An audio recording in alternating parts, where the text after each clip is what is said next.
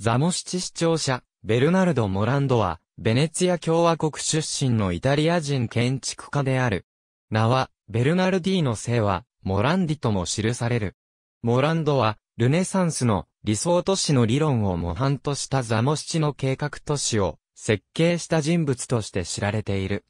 モランドは、パドバ、または、ベネツィアにおいて1540年頃に生まれた。1569年に、ポーランドに移住し、建築家として働き始めた。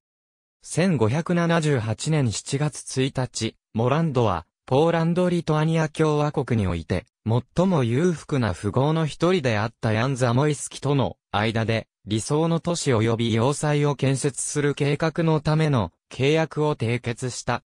ルネサンス時代におけるポーランドの貴族たちは極めて裕福であったため、多額の資金を消費し得ただけでなく、王室からの徴税を免れるためにその財産を投資する新たな投資先を探す動機も有していた。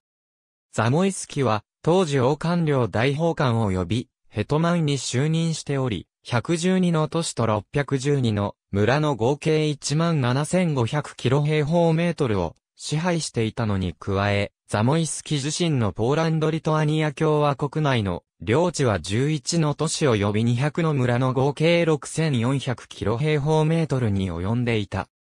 ザモイスキの領地は国の中の別の国のような機能を有しており、ザモイスキは王室により課せられる税や義務を回避し、また自身の領地内の首都のような機能を果たさせるため、ザモシチの町を建設することとした。1586年までに、モランドは新しい都市の計画を準備し、ルブリン門、ブキコ、ザモイスキの宮殿などの初期の著名なモニュメントの建設を監督した。1587年から1594年の間にもランドは、視聴者とアルプス山岳脈北側では、最も著名な古典的ルネサンス建築の一例である、大学協会の建設を監督した。これらは、モランドの死去の2年前である1598年に完成した。これらの著名なプロジェクトの他にも、ザモシチでの滞在中、モランドは大邸宅や有名な星型要塞の建設の監督も言った。ザモシチの建設は成功し、建設開始からわずか11年後には26区画しか空き地が残っていないほどであった。しかし、モランドの後継者、アンドレア・デラクアが要塞を完成させたのは1620年代になってからであった。その後数年間の間に、ザモシチアカデミー及び多くの教会が建設された。ザモシチの町のほか、モランドは二つの、より小さな要塞都市、トマシュフルベルスキ及びシャールホロドの建設計画も作成した。モランドは、ザモイスキに対する功労のために、ザモシチに二つの大邸宅を与えられた。1591年から1593年の間、モランドはザモシチの市長も務め、貴族の地位を与えられた。モランドは、カタジナと結婚し、6人の子を設けた。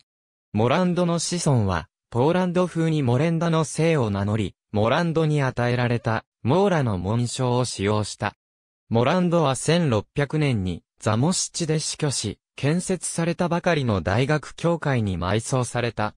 モランドの息子の一人であるガブリエル・モレンダは、パドバ大学で医学博士号を取得し、ザモシチに戻り、市長及び裁判官となった。ガブリエルは、父であるも、ランドの計画により建設された、ザモシチアカデミーにおいて、数学の教授も務めた。